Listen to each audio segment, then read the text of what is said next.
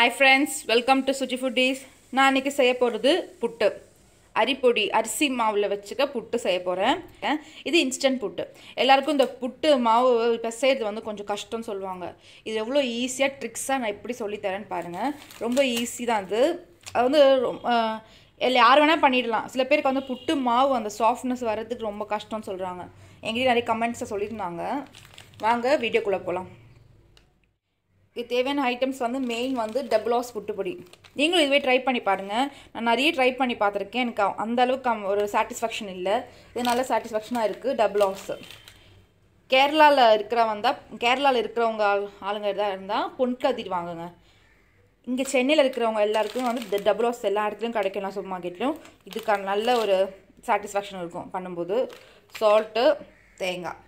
எவ்வளோ அதோட ஐட்டம்ஸு வாங்க எப்படி செய்கிறதுன்னு பார்க்கலாம். ஃப்ரெண்ட்ஸ் ரெண்டு கப்பு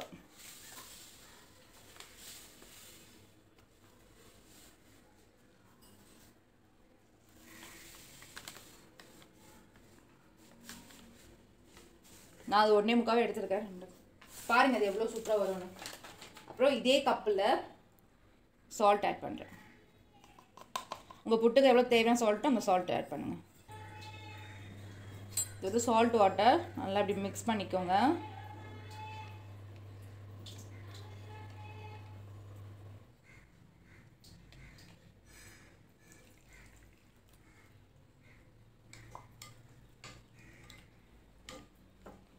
என்னடா தண்ணி அதிகமாயிடுச்சேன்னு பார்க்காதீங்க. இப்படி இப்படி பண்ணி விட்டுருங்க. திருப்பியும்? எவ்வளோ எவ்வளோ குவாண்டிட்டி வந்து பவுடர் ஆட் பண்ணுறோமோ அரிசி பொடி ஆட் பண்ணுறோமோ அதே quantity water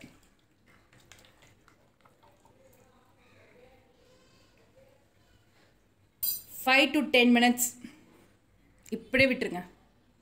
தண்ணி மாதிரி இருக்குன்னு பார்க்காதீங்க. டென் மினிட்ஸ் கழிச்சு வந்து பார்க்கலாம்.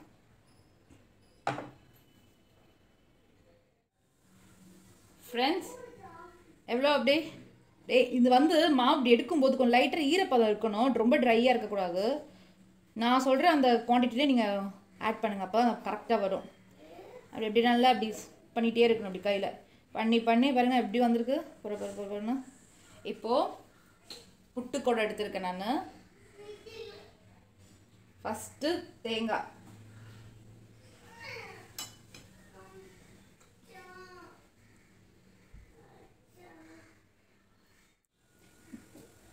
தேங்காய் எடுத்தாச்சு. மாவு ஆட் பண்ணுறோம்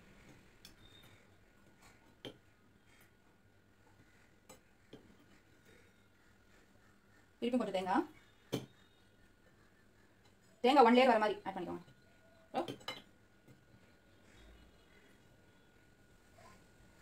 அப்புறம் மாவு ஃபுல்லாக ஃபில் பண்ணியாச்சு. இப்போ கொஞ்சம் தேங்காய். அடியில் ஒரு கொஞ்சம் தேங்காய் நடுவில் கொஞ்சம் தேங்காய் மேலே ஒரு தேங்காய். இல்லையா இப்போ ஸ்டீம் பண்ணி எடுத்துட வேண்டியதான் ஃப்ரெண்ட்ஸ் எங்கள் வீட்டில் குக்கரில் வைக்கிற மாதிரி தான் இருக்குது புட்டுக்கோடும். ஸோ நான் குக்கரில் வாட்டர் ஆட் உள்ளே வச்சுட்டு ஸ்டீமில் வச்சுருக்கேன். புட்டு. ஒரு டென் மினிட்ஸ் கழிச்சு எடுக்கலாம். அதே சைமல்டேனியஸாக பழம் வேக வைக்க போகிறேன் எங்கள் நாங்கள் அது கூட சாப்பிட்றதுக்காக. ஸோ பழமும் ஸ்டீமில் வச்சுருக்கேன். ஃப்ரெண்ட்ஸ் புட்டு ரெடி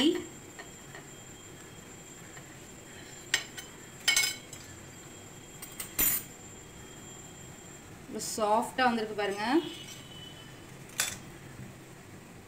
ஃப்ரெண்ட்ஸ் நம்மளோட ஆவி பறக்க புட்டு பழம் ரெடி எவ்வளோ சாஃப்டாக வந்திருக்கு தெரியுமா? பாருங்கள் எங்கள் ஹஸ்பண்டு சாப்பிட்டு பார்த்து எப்படி இருக்குன்னு சொல்லுவார்.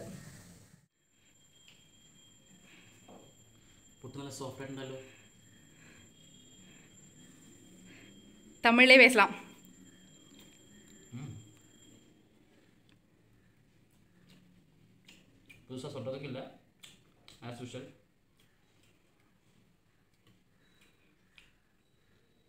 இந்த காம்பினேஷன் தமிழ்நாட்டில் எல்லாருக்கும் பிடிக்கணும்னு கம்பல்சரி கிடையாது. நான் வந்து புட்டும் பழமும் சேர்ந்து சாப்பிடும்போது ஒரு மாதிரி தான் அவங்களுக்கு இருக்கும். என்ன காம்பினேஷன் அப்படின்னு. ஒரு தடவை என் ஃப்ரெண்ட்ஸுங்க வந்து கேரளாவுக்கு வந்தாங்க. ஆந்திரா ஃப்ரெண்ட்ஸு கடப்பா. ஸோ என் ஃபேமிலி மெம்பர்ஸ் இந்த மாதிரி புட்டு பழம் இப்படி சாப்பிட்றது பார்த்து அவங்க அப்படியே ஓடிட்டாங்க அந்த ஏரியா விட்டு. ஏன்னா அந்த பழத்தை இப்படி போய் நரண்டும் போது இந்த பக்கத்தில் வெளியே வரும்போது அவங்களுக்கு மாறி இருந்தது. ஸோ அதனால தான் நினைக்கிறேன் தமிழ்நாட்டிலே ஆந்திராவில் அவ்வளோ புட்டு பழம் வந்துட்டு யாரும் விரும்பி சாப்பிட்றதில்ல. இதே இட்லி தோசை வந்து கேரளா மக்கள் சாப்பிட்றாங்க தமிழ்நாடோட ஃபுட்டு பட் வந்து கேரளா ஐட்டம் வந்து எல்லா ஐட்டம் சாப்பிட்றது இல்லை இதுவும் நீங்கள் ட்ரை பண்ணுங்கள் இந்த மாதிரி டேஸ்ட்டாக சம் சாப்பிட்டா தான் புட்டும் பழம் டேஸ்ட்டாக இருக்கும். அந்தலை அந்தலை ஸோ அந்த மாதிரி நான் நண்டலை கொஞ்சம் பொறுமையாக நண்டுறேன் ஸோ இந்த இந்த நேந்திரம் பழம் வந்து குழந்தைங்களுக்கு வந்து ரொம்ப ஹெல்த்தியானது அவங்க நல்ல வெயிட் போடுவாங்க. ஸோ நமக்கு மார்னிங் பிரேக்ஃபாஸ்ட் சாப்பிட்றது ரொம்ப நல்லது. உடம்பு ஏற்றுறவங்களுக்கும் பனானா சாப்பிட்லாம். உடம்பை வந்து இலக்க ட்ரை பண்ணுறவங்களுக்கும் பனானா சாப்பிட்லாம். அதோட டிப்ஸ் நாங்கள் அப்புறமா சொல்லித்தரோம் பனானா மட்டும் சாப்பிட்டு எப்படி ஸ்லிம்மாக இருக்கிறது? இல்லை இது சாப்பிட்டு எப்படி குண்டாகிறதுன்றது இருக்குது ரெண்டுமே இதில் இருக்குது ம். பழம் கரெக்டாக வந்திருக்கு. ரொம்ப காயாக வாங்கக்கூடாது ரொம்ப பழுத்து போன பழம் வாங்கக்கூடாது. மீடியமாக இருக்கிற பழம் தான் வாங்கி நம்ம வந்து பாயில் பண்ணணும். அப்போ தான் அதோட டேஸ்ட்டு நல்லா உணர வரும். ஸோ பழம் புட்டு அல்டிமேட் என்னோடய ஃபேவரட் ஃபுட்டு தான். இங்கே ரொம்ப டேஸ்ட்டாகவும் செஞ்சு கொடுத்துருக்காங்க. தேங்க்யூ பிடிச்சா லைக் பண்ணுங்க ஷேர் பண்ணுங்க மறப்பாங்க சப்ஸ்கிரைப் பண்ணுங்க.